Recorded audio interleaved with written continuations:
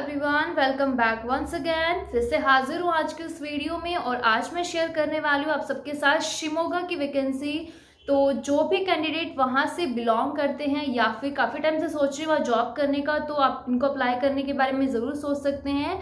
और इसके अलावा अप्लाई करने का मेथड मैं आपको पहले ही बता चुकी हूँ कि हमसे डायरेक्टली कांटेक्ट कर सकते हो। टेलीग्राम पर नंबर आपको मिल जाएगा। और डिस्क्रिप्शन में इसके अलावा आप कमेंट करके भी प्लीज़ अपने सुटेबल जॉब्स के बारे में बता दीजिए करें, ताकि नेक्स्ट टाइम हम जब वीडियो अपलोड करें तो उन जॉब से जो रिक्वायरमेंट आपकी है उनको हम फुलफिल कर सकें।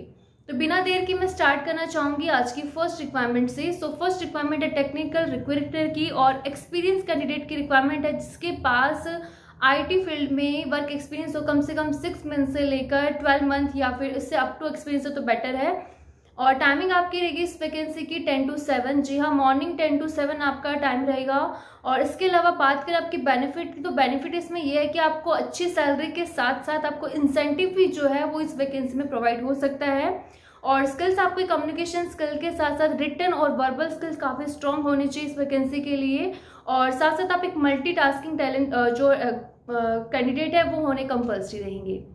सो so, चलते हैं नेक्स्ट वैकेंसी की तरफ़। रिक्वायरमेंट है मैकेनिकल इंजीनियर की। बता दूँ आपकी जॉब डिस्क्रिप्शन के बारे में तो फ़र्स्ट ऑफ़ ऑल जो कैंडिडेट है वो रिस्पॉन्सिबल होना चाहिए और क्वालिफाई होना चाहिए इंजीनियरिंग या diploma with different requirements and जैसे कि project management production management and site supervision designing etcetera से। और इसके अलावा आपके स्किल्स काफ़ी अच्छे होने चाहिए आपको टीम को कैसे मैनेज करना चाहिए उसका हुनर आपके पास होना चाहिए। और इसके अलावा आप मार्केटिंग फ़ील्ड में भी एक्सपर्ट होने चाहिए ताकि आप मार्केटिंग वर्क को भी अच्छे से निभा सके। नेक्स्ट मैं बात करूँ इस वैकेंसी की प्रेफर क्वालिफिकेशन की तो क्वालिफिकेशन आपकी रहेंगी ग्रेजुएट इसके अलावा three years of manufacturing experience होना ज़रूरी है। ऑटोकेड आपको अच्छे से आनी चाहिए। इसके अलावा इंजीनियरिंग आपका बैकग्राउंड हो तो ही आप इस वैकेंसी के लिए प्रेफर किए जा सकते हैं।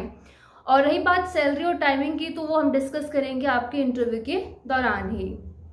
नेक्स्ट रिक्वायरमेंट है computer accountant and office clerk की रिक्वायरमेंट है। जॉब डिस्क्रिप्शन की बात करूँ तो ऑर्डरिंग ऑफ़िस सप्लाईज हो सकती हैं।